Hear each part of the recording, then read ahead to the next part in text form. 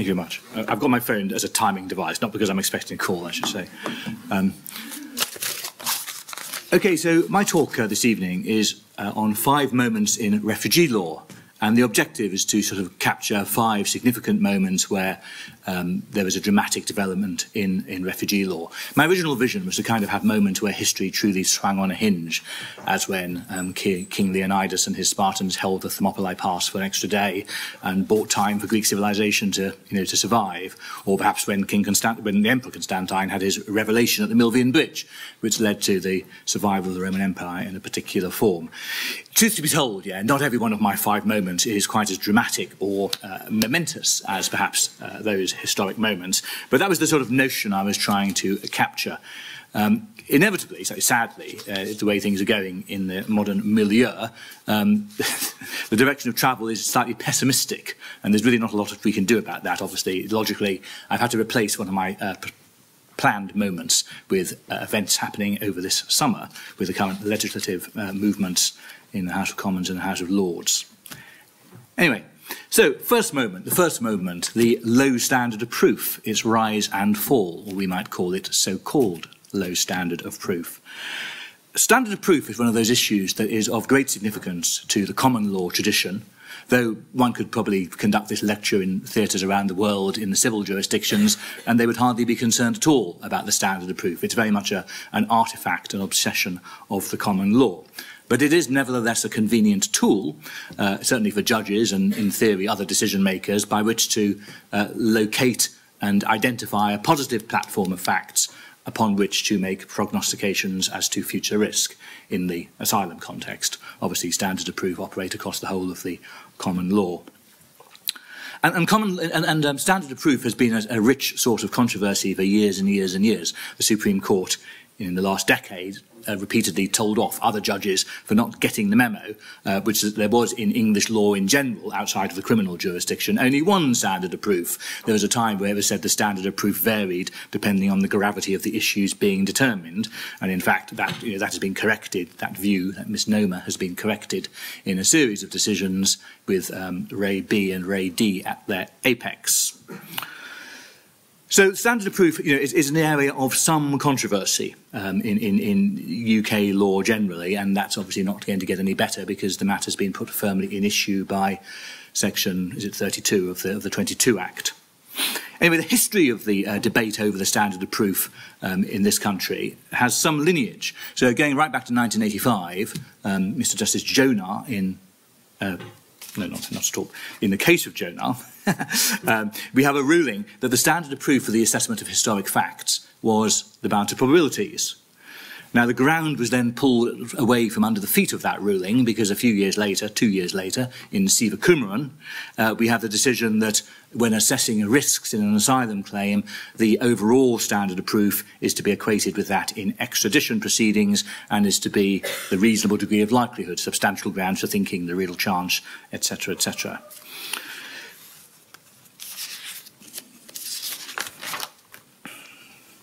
So the next event uh, of, of, significance after Sivakumaran was that now faced with the proposition that the standard of proof for fact-finding was about probabilities, but that for risk measurement was uh, a lower standard of proof, it was necessary to consider whether or not that was a logical way about, of going about things. And again, I, I keep saying this is controversial. This split the tribunal for a significant period, the various divisions of the um, Immigration Appeal Tribunal, as it then was, uh, you know, debated this issue. And, and indeed, I, I remember Scottish QC refusing to follow uh, decisions that were supposed to be binding.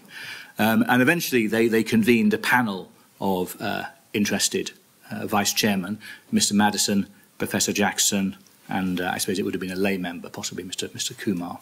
Anyway, so this, this channel, this, this, this panel sat and they cogitated upon the issues and they decided that logically there could only be a single standard of proof for risk assessment and the assessment of future risks. That was the upshot of their, of, of their thinking. And they said that um, it should be anathema in the asylum regime to separate out past events from establishing the risk in the future. There was a probability in an asylum claim of greater than normal uncertainty when considering the historical facts. It would be a rare decision maker who was never uncertain about some aspects of the evidence. And that was a majority decision. I say even, you know, this, this, even this panel split, and Mr Madison, he wrote, there is no reason on a common sense basis or in law the burden of proof should be any lower than the normal civil standard. The appellant is simply required to tell the truth. And so it was that, you know, for some years, the Kaja Tribunal, the majority uh, approach, held sway. And an interesting feature of it is that although we all very glibly refer these days to the low standard of proof, um, query whether we are right to do so. As was pointed out in the landmark decision that was to follow, Karen Karanakaran, Kaja never themselves, that tribunal never said that there was a low standard of proof for historic fact finding. All they said was that there should be a positive role for uncertainty. They never said the bounds of probabilities should not apply to asylum fact finding. Uh, and that, that may be something that we come to hear more of as the standard of proof is litigated in the years to come. Anyway, the next event um, pro, in, in between uh, Kaja and Karanakaran is the decision of Horvath. Horvath is a case about the Roma community from Eastern Europe and the problems they had at the hands of the skinhead population and their allies in the local police forces. Um, and so that was a case about state protection primarily. But beyond that, uh, it prompted some musings by the Court of Appeal, Stuart Smith and Ward, Lord Justices, um, about the standard of proof for measuring historic facts. And they put the matter firmly in issue. And they said that, uh, in their opinion, the standard of proof should probably be the balance of probabilities, but the matter wasn't live in front of them, and they thought the Court of Appeal should consider the issue at the earliest possible opportunity. I apprehend they had in mind that they would be considering it. but little did they know that the day before they handed down their judgment, the court, Sedley Brooke and someone else, uh, had risen in the, in, in the internal relocation case of Karen Karanakaran. And they recalled the advocates in order to beat the Conservative wing of the Court of Appeal to the draw in terms of giving a ruling on what the standard proof should be for eons to come, they hoped. Uh, as they put it, we ought to take this early opportunity to resolve the issue. And as I'm sure they would be the first to acknowledge, we have had the benefit of very much fuller argument on all these issues than was available to the Horvath Court. And so they go on and they quote a series of hugely insightful decisions, Guo, Wu Shan Liang, um, others, others decisions, uh, Rajalingam from the Australian court, which, which, managed to make even more of a meal of standard of in asylum than the English courts ever did. You know, perhaps nine or ten major precedent decisions fell from the Australian courts over the course of a decade. And the learning that um, they handed down was this, that there should be a positive role for uncertainty, that the risk of error given the gravity of issues involved, should always be acknowledged. And really, um, possibilities should only be discounted when assessing fears of persecution if one was in no real doubt that they were rightly to be rejected. They also said that civil litigation was an inapt analogy. And this is something that the English judges, Brooke and Sedley, ran with very much. They said that, um, you know, that, that the asylum forum is not, it, it, it's not an adversarial process in the normal sense. It's not a trial between equal parties, essentially an asylum appeal, one side puts up a case and the other tries to knock it down, but with no affirmative evidence of their own most of the time at all. So they said that civil litigation was an inapt analogy. So the conclusions then in Karanakaran, learning, drawing on the Australian uh, learning, was that decision makers weren't constrained by rules of evidence uh, in civil litigation, Um, decision makers shouldn't, fire, shouldn't feel obliged to find certain facts as proved. They shouldn't exclude any matters of consideration when assessing the future. And only at the last moment is a residual balance of probabilities test applied, even in most other forms of litigation. Anyway, then we have the statutory intervention in uh, Section 32 of the 22 Act, which introduces that thing, the very heresy that was identified in Kaja, the two-stage test That's, you know, that, that has been uh, firmly uh, brought onto the statute book now. And indeed, the worst of it, in a sense, is not simply the adoption of the balance of probabilities, but the insistence of a two-stage test. Because if all we had was balance, balance of probabilities alone, all that rich Australian learning and the contributions from Sedley Brooke and Jackson, well, all that material would be available for us to freely draw upon whatever the label attached to the standard of proof overall. It's the compartmentalization, the partitioning into two parts, which is the real uh, vice, critics would say, of Section 32. And so what Section 32 says is that when assessing um, fear and whether or not someone has a characteristic causing them to fear persecution, the balance of probabilities is to be adopted. And when determining risk and internal relocation, um, the low standard of proof, uncontroversially, is to be adopted. But a caveat to all this, and obviously no doubt this will be the subject of litigation to come, an interesting caveat is the UK VI guidance, as, as published, I think remarkably, still version one, um, not tinkered with over a full nine months, I think, um, on, on assessing credibility. And it says, and this is post 22 Act cases, you must consider whether to apply the benefit of the doubt to any material facts which remain in doubt after you have reviewed all the evidence in the round.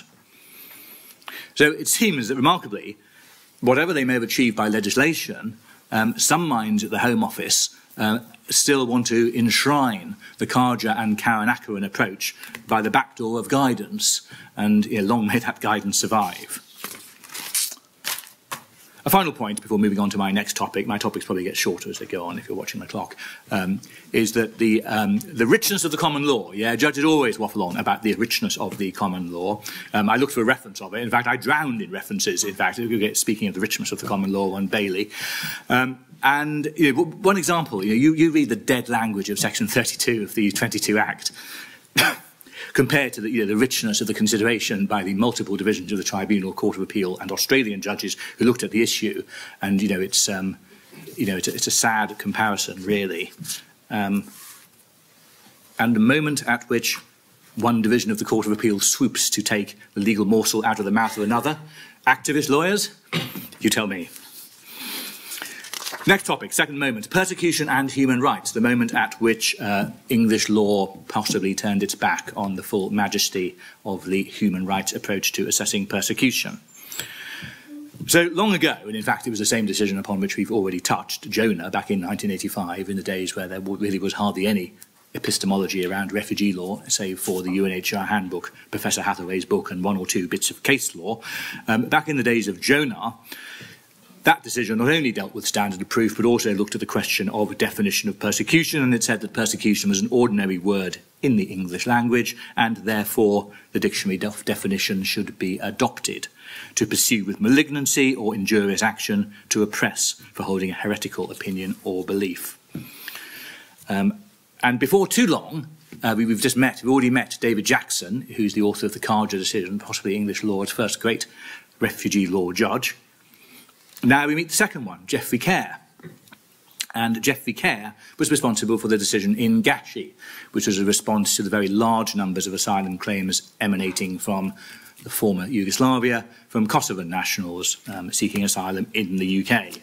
And it was decided that uh, a, a test case was needed, a kind of uh, general ruling was going to be needed in order to deal with all these cases, or you know, set down some form of precedent uh, in one go. Geoffrey Care, to say, at the venerable age of 94, graced the stage at the conference in The Hague of the International Association of Refugee Judges last week, 94, and also, in the same month, published his new book on refugee law, The Galilee Bell, dealing with church asylum. So his great contribution, anyway, in the case of Gashi, uh, was that the preamble of the Refugee Convention was an important star by which to navigate. Uh, and the preamble says that considering the Charter of the United Nations, the Universal Declaration of Human Rights, too, has affirmed the principle that human beings shall enjoy fundamental rights and freedoms without discrimination. And so, given that preambular intention clearly stated in the recitals to the Refugee Convention, Mr. Care said that um, that was a green light, a green light to adopt a human rights approach rather than a dictionary definition approach to the, to, to the calculation of persecution.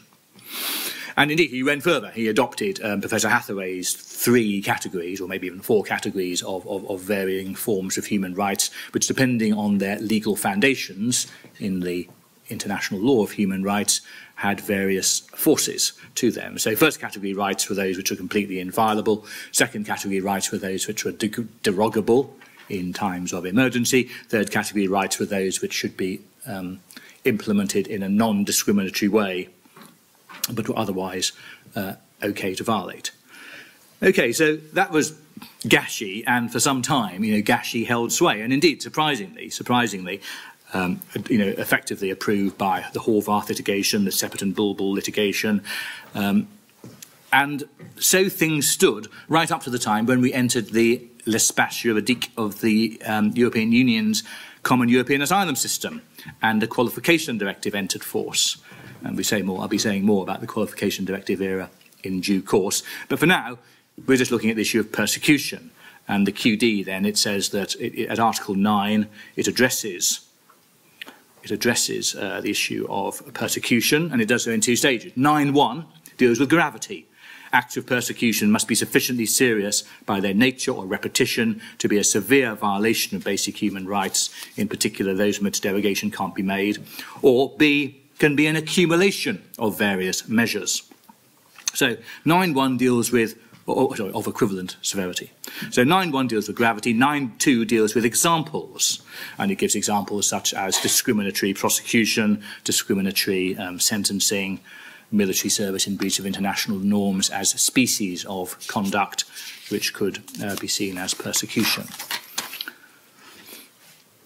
English law then in due course looked at uh, the meaning of those provisions in order to decide whether or not the Gashi approach still survived. And it did so in the cases of those who we might style the Palestinian Three, MAMT and SH, Palestinian territories. Three cases which made their way through the courts at a very similar time and represented you know, a, an early effort by the UK courts to deal with the difficulties posed by um, the Palestinian issue. And in these cases, there were two factual issues largely in play. Yeah? One issue was the possibility of uh, getting back into one's homeland.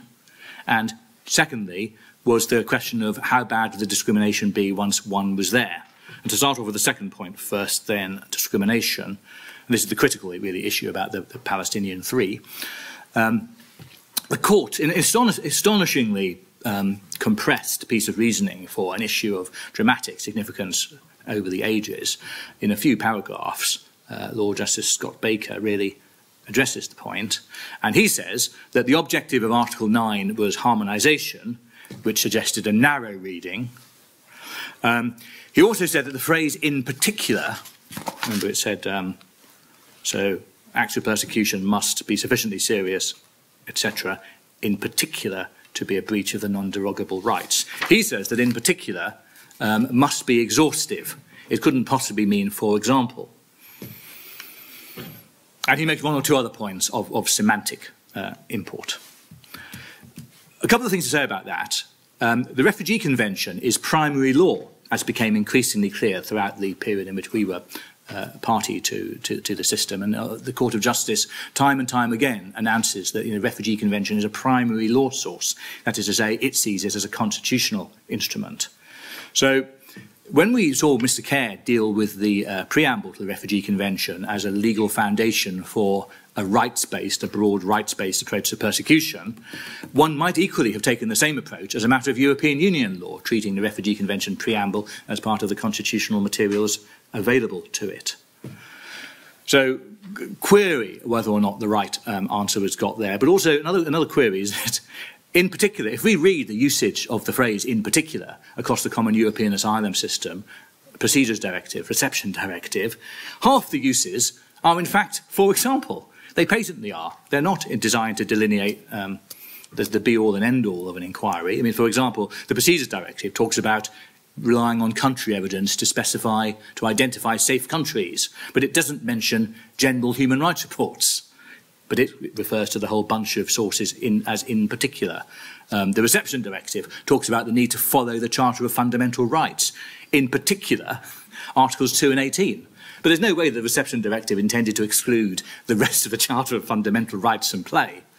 And so, you know, one is always very slow to criticise judgments of the Court of Appeal, um, but there is an issue, you know, there are issues about, about the cases of the Palestinian Three. Before leaving that topic, um, a live issue on persecution which remains open is the other half of those cases, the other aspect, the question of return. Now, the, the case law on the Refugee Convention is strong in that it, for nationals, people who hold nationality of a particular country of origin, if they're denied return, then that is persecution, the loss of the entire basket of rights by the denial. See Lazarevic and the line of authority thereafter. The stateless do not get such a good deal. The cases of the Palestinian three are astute to note that you can't really complain about something you never had. And if you didn't have nationality rights in the first place, then why complain about their absence now? It's you know a, a continuation of a previous misfortune, but it's not um, an act of persecution. Well, it was pointed out in the advocacy in, in, the, in the cases of the Palestinian three that if you read the ICCPR, International Covenant on Political Rights, etc., um, at Article 12, it talks about rights to enter one's own country, and it points out that country here is broader than state in Article 12.4. Um, and therefore, it would seem that in some scenarios, that whilst nationals do have the strongest right to return, uh, for individuals who have close and enduring connections with particular territories, uh, there's an argument. there's an argument that they fall between the two extremes. That is to say, those with the uh, entitlements that some would assert for the Palestinian cause um, might not fall to be treated simply as bare stateless individuals. Anyway, that's an unresolved issue. The, the Court of Appeal took one look at it and said it was difficult, controversial, and too politically sensitive to resolve on the materials then available. Third moment, the protection of civilians in wartime and in both in times of national and international armed conflict. Two quotes from history. Yeah? General Marius, uh, Roman warlord and first uh, individual to threaten the sanct sanctuary of the Roman Republic, he says famously, in the clash of arms, the laws are silent, and that is what he says when it's suggested that he should row in his troops from the worst of their excesses in, a, in the clash of arms, the laws are silent. Lord Atkin, in his landmark dissent in the 1940s in Liversidge and Anderson, Lord Atkin says, the law is not silent in the clash of arms, which can only be an intentional reference to his uh, warlord predecessor. Um, so, but the truth is, I think that if you look at the response of international protection law over time to the plight of civilians caught up in armed conflict, the laws have often fallen silent and left something by way of a protection gap.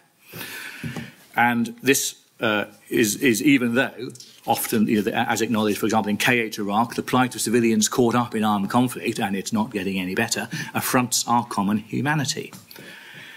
So when the UK courts came to deal with this in the context of the civil war in Somalia in the early 90s, Lord Lloyd uh, and, his, uh, and the other judges found it very difficult to see a way into the refugee convention for these individuals.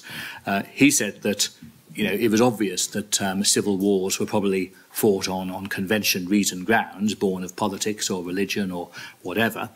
Um, but you needed something else, a differential impact over and above the ordinary risks of clan warfare, at least until one side achieves supremacy and persecuted the vanquished. And so the case of Adan was the foundation for uh, a drawing back of potential international protection for the victims of civil war for some years. Adan is a case now that looks, and you know, the, upper tribunals have said this in the past, it looks rather old-fashioned in AM and AM Somalia. Uh, a strong division of the upper tribunal noted that you know, the, the, it, it was showing its age, and it was very hard to imagine, given the general embrace of international humanitarian law by the English courts since Adan, that exactly the same decision would be made uh, were the case to be re-encountered by the Supreme Court in this country. And Adan received criticism around the world. The New Zealand courts were critical of it. The Ibrahim Court, in the High Court in Australia, uh, said the, the text, rationale, and purposes of the convention did not justify the Adan conclusions. Um, the House of Lords relied on academic commentary from Professor Hathaway, but if one reads that commentary, it appears to be lesser embrace or analysis of the present system and just a description of a state of affairs that was by no means perfect. And when Hathaway and his uh, colleagues, leading academics from around the world, revisited the issue shortly after Adan, they produced the Michigan Guidelines on Convention Nexus and said no special rule governs the causal nexus standard in the case of war or other large-scale violence or oppression. In reality, of course, the heat was taken out of the uh, Civil War pressure cooker because of the arrival of Article 15C of the Qualification Directive, which vested subsidiary protection on those who might otherwise have got refugee status. And of course, at least for so long as the rights were identical, of course, they no longer are in the United Kingdom, uh, but so long as they were identical, no one really cared what form of international protection they received. And uh, Article 15c is, is put in these terms. Um, serious subsidiary protection will follow if there is a serious and individual threat to a civilian's life or person by reason of indiscriminate violence in situations of international or internal armed conflict. You know, quite a piling up of words. Lord Justice Sedley remarked upon it when the case reached the Court of Appeal in QD, Iraq. He pointed out that there were a whole series of contradictions implicit in that text. The most obvious one is the requirement of an individual threat arising from indiscriminate violence. And no doubt, you know, the reason why um, that phrase was, was you know, put, put into the qualification directive was that member states could not agree. They could not agree on the uh, full embrace of the victims of armed conflict as something that went beyond executive discretion and could receive status as of legal right. And so they inserted words to sabotage the original intent of uh, the European Union Commission. A number of courts have looked at Article 15c. Uh, KH Iraq is the most creative approach, where the UK's tribunal, uh, in a massive piece of, of, of impressive scholarship, um, sought to demonstrate that you could best give life to Article 15c as a way of expanding civilian protection beyond what you would get from Article 3 ECHR. They said you could achieve that expansion best if you incorporated international humanitarian law into the, into, um, the qualification directive. Um, they said that was legitimate because the preambles to the qualification directive draw on state practice and international humanitarian law is indubitably a piece of state practice. Um, and they also suggested that that phrase, uh, threat to a life of person, life, life, threat to life and threats to a civilian's life or person, when read with the introductory phrase, which required a real risk of a threat to a civilian's life or person, demonstrated that there was a lesser form of harm envisaged by this provision than might be the case, for example, with Article 3 ECHR. Mike Fordham, as he then was, um, was, was, was supposed to say in his submissions in one of the later 15C cases, it was designed to protect civilians who lived under the shadow of violence. Sadly, um, well, for all you know, for, for all the efforts of the tribunal in KH Iraq, which you know was a, a problematic decision in some ways, no doubt, um, it didn't survive the uh, gaze of the Court of Appeal when it went when it went onwards, and the Court of Appeal said that IHL had no real role to play in the qualification directive protection regime. Uh, they said that regime had to stand on its own two legs um, and couldn't, you know, could not incorporate other legal regimes. And, since then, the law has struggled. The judges have struggled to find any meaningful role for Article 15C qualification directive that would not simply have been found in good old Article 3 ECHR. Um, yeah, okay, good. Right, let's move on to the fourth moment. Fourth moment is departure from the European Union and the process of deharmonisation with European Union law. So we've already seen some features of the qualification directive over the last few minutes. Uh, in some ways, the qualification directive is the high point, the high point of the humanitarian initiatives in favour of refugees.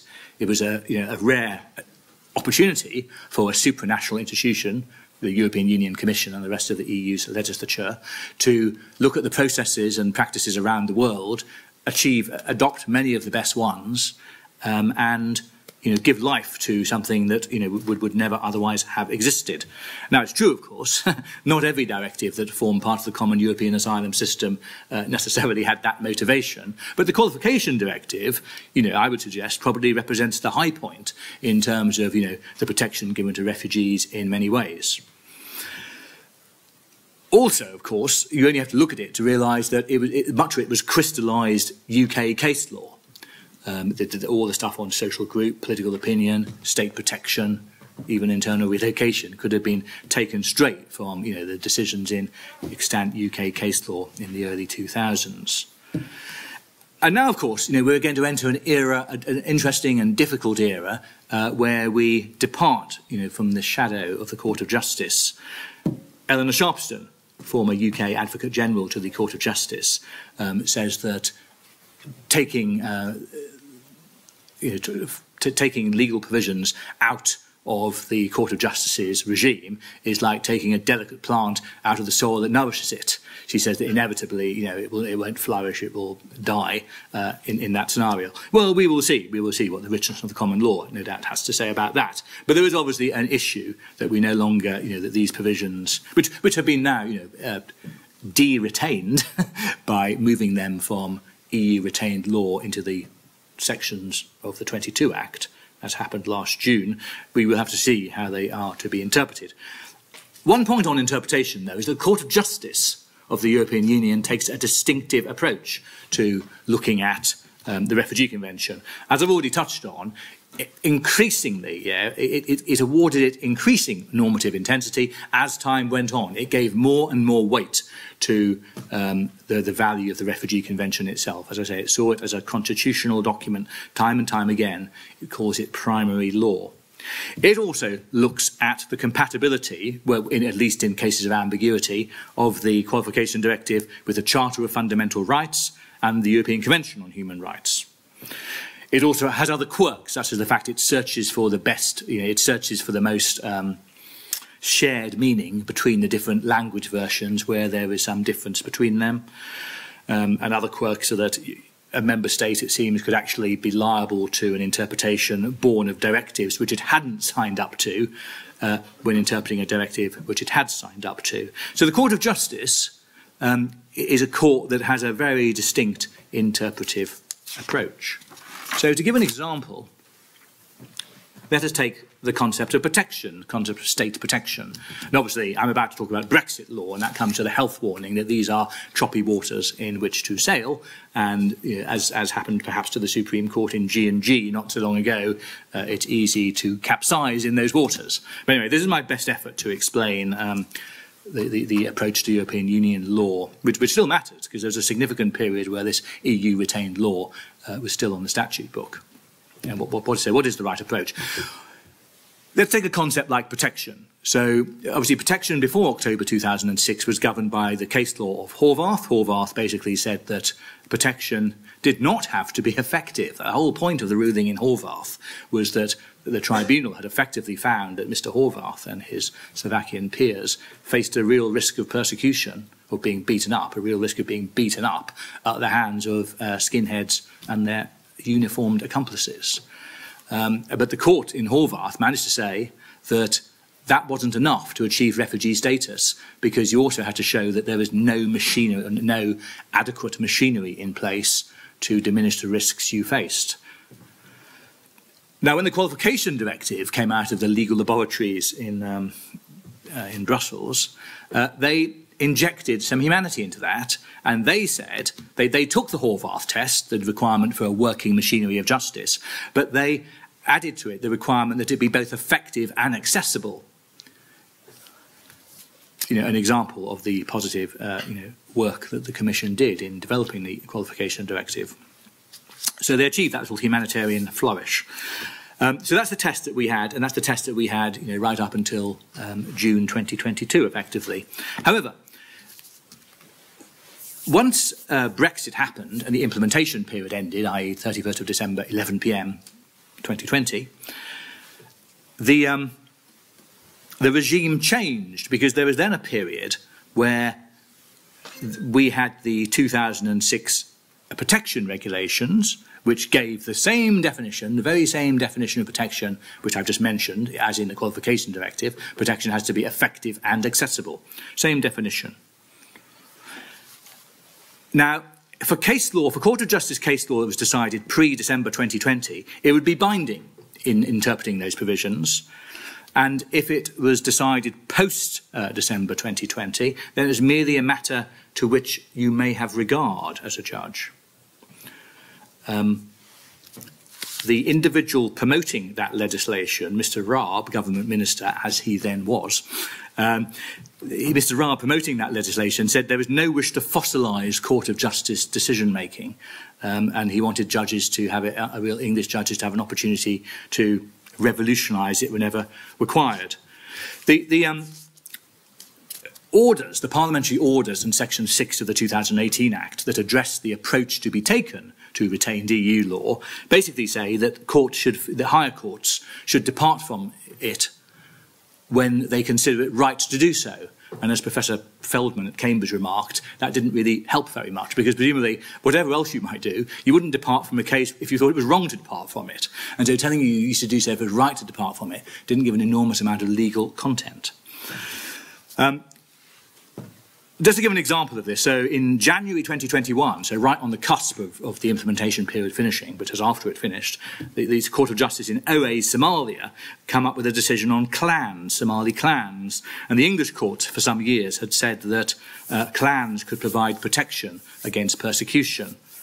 But the Court of Justice said that the social and financial support provided by private actors, be they family or clan, could not suffice because it would not pass the requirements for state protection in the qualification directive. So that decision would, from uh, December, January 2021 until June 2022, have been a matter to which regard should have been had. Of course, now since June 2022, we have firmly repatriated uh, refugee law and the other sequelae of the qualification directive, like humanitarian protection. We've repatriated, repatriated it largely into the 2022 Nationality and Borders Act. And so the question arises, what approach is to be taken by the English courts to um, Court of Justice authorities, which are considering exactly the same text, the internal relocation text, the social group test, the um, state protection test, yeah? It's all verbatim the same between the 22 Act and the qualification directive. What approach is the, are the English courts to take to that? The legal certainty is a you know, significant principle in English law. The US Supreme Court talks about the cement of legal principle.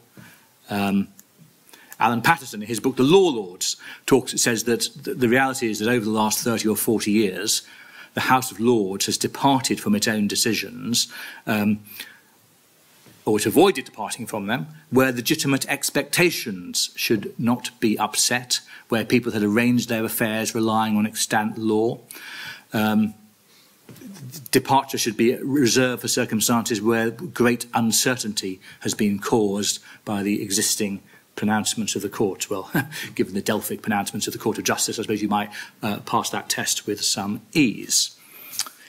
Anyway, they say the past is a foreign country, so there's a real live question, though, to what extent we have left uh, the foreign country, which is the European Union, and for how long uh, the Court of Justice's shadow will cast over us. My final topic, then, briefly, um, and that is current affairs. Current affairs. So, 70 years worth of, uh, you know, at least in form, respect for most of the norms within the Refugee Convention is presently jeopardised, some critics say, um, by legislation sp speedily going through uh, the Parliament at present, and in so doing, you know, destroy, damaging protections with the speed of parchment going up in a flame.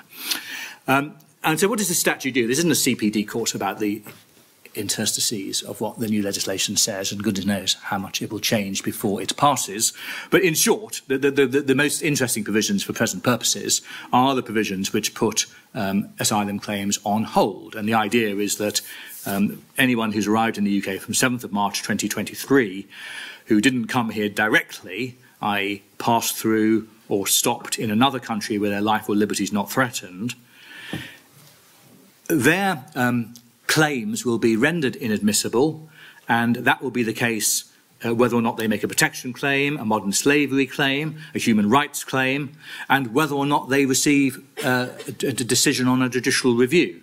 And there are fairly complicated provisions about how all that is to be dealt with going forwards. UNHR, um, obviously the best commentator to go to on this point. Um, they say, by seeking to close its borders to people fleeing persecution and to require them to seek protection elsewhere, the UK would be retreating from the principles of international cooperation on which the global refugee system is based and acting inconsistently with the object and purpose of the Refugee Convention, imposing an even more disproportionate responsibility on those countries, as well as others through which refugees may travel, uh, and which are closest to refugee producing zones and threaten the capacity and willingness of those countries in turn to provide protection and long term solutions. It is when hosting capacity is overwhelmed that onward movement often ensues. The majority of those claiming asylum will be left in indefinite limbo, limbo while the government seeks arrangements with third countries for removal, for which there are currently no viable arrangements in place. The strain on housing, medical care and schools will increase rather than diminish. The bill all but extinguishes the right to claim asylum in the UK. 96% of refugees, asylum seekers and others in need come from the 108 countries whose nationals require entry clearance to come to the UK. This is a rejection of the principles of international cooperation on which refugee law is founded. It would be inconsistent with the right to seek and enjoy asylum, a basic human right under Article 14.1 of the UDHR. So, no doubt about what side of the fence UNHR are on in this um, debate. So, you know, given, given the points they might make, objective bystanders might question the wisdom of, of the legislation. Henry VIII is on record as saying, when presented with a particularly obscure writ by his legal advisers, I know this law, for my lawyers so tell me, but my reason digesteth it not. Perhaps that observation might be made of some critics of the um, proposed legislation at the moment. Obviously, there are problems with it, uh, such as those which UNHCR uh, identifies so clearly. Um, but also, Lord Bingham, when Lord Bingham writes his book, The Rule of Law, uh, he says that key features of the rule of law, uh, rights and liability being resolved by law rather than discretion, uh, and equality of application of the law absent any objective justification. And obviously lifting the protection of the law in the way that's being proposed from a class of individuals, for example, by depriving them of the um, full access to judicial review, is a, you know, a distinct uh, step to take which has to be thought of, thought about carefully. Are there any legal norms that might stand in the way of these measures? And here we find ourselves casting around somewhat, because you know the UK, of course, is a dualist country. We only, um, you know, we, we, we don't incorporate conventions into our national law merely by signing up to them. You know, we have to have the additional step of fully incorporating them. Um, to some extent, you know, that, that, that has been done in a particular way by the you know, sophisticated way vis-à-vis -vis the European Convention on Human Rights. It hasn't been done at all with the Statelessness Convention. Um, it was sort of done, but rode back on quite recently for the Trafficking Convention. And vis-à-vis -vis the Refugee Convention, well, all we really have is the statement that the immigration rule should not be inconsistent with uh, anything in the Refugee Convention. Obviously, the whole point of putting this stuff on the statute book rather than in the form of rules is to um, em emphasise the sovereignty of Parliament. The preamble to the Refugee Convention says that considering that the Charter of the UN and the UDHR have affirmed the principles that human beings shall enjoy fundamental rights and freedoms without discrimination, the UN has manifested its profound concern for refugees. So, you know, the preamble obviously is a potential source of law, but it, but it, it, it isn't incorporated into the English system. So John Laws famously did rely on the preamble, at least to back up his existing thinking in Sepet and Bulbul, when he said that um, taking a narrow approach to military service evaders would confine the scope of convention protection in a straight jacket so tight as to mock the words of the recital, the very recital that I just read out. But the truth was, he was already um, home and dry on more classic legal norms. The principle of good faith, you know, UNHR would probably have it that um, the approach of the UK government proposed in the current legislation is not necessarily um, fully in good faith. And the Vienna Convention, Article 26, Pacta sunt servanda, um, says that treaties shall be performed and interpreted in good faith. But again, as the English courts have been very clear, Brown and Stott, Roma rights, um, there's nothing to stop a party interpreting a treaty as meaning what it says and declining to go any further. States have been adamant in maintaining the question of entry, in particular, entry of foreign nationals, uh, is something which falls to each nation to resolve for itself. International Court of Justice says in the Nicaragua case uh, that um, the good faith principle is not of itself a source of obligation when none would, none would otherwise exist. So it's a very difficult situation. Of course, there are other legal norms in the Human Rights Convention and so forth that may mean that leaving uh, refugees or alleged refugees in limbo, Dante's first circle of hell, for an extended period, uh, you know, may be rights violative. and it may well be that actions are brought, you know, can be brought on that score. But it's really quite difficult to see what it is in the Refugee Convention that would, you know, well, as, as operative in a dualist system like the United Kingdom, uh, that would prevent the measures. Though uh, hopefully those pessimistic comments will be proved wrong. Now, I was hoping, I was hoping to find um, a positive, a positive note to finish on, because most of this has been negative. Here's my positive note. so, a quotation much loved by Barack Obama, who actually changed it to make it more digestible to the American market, I think, uh, but originally from Martin Luther King. It is said that the arc of the moral universe is long, but it bends towards justice. And so we might hope, we might hope that, that uh, the, the common sense advanced by UNHCR will prevail. And who knows that the experiments that we're seeing in the asylum laboratory that is the United Kingdom at the moment um, won't all come to pass or will be attempted and in due course abandoned. Thank you very much.